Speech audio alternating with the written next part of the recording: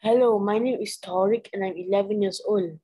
I've been attending public speaking classes with uh, teacher Kasturi and I experienced a lot. Um, I've learned how to keep the audience occupied. I've learned how to not be nervous. Last time my nervous level was 10 over 10. Now it's just 1 over 10. So teacher Kasturi teach me a lot during the class. Uh, really a lot. And I prove a lot in my public speaking. Thank you, teacher Kasturi. Thank you for guiding me.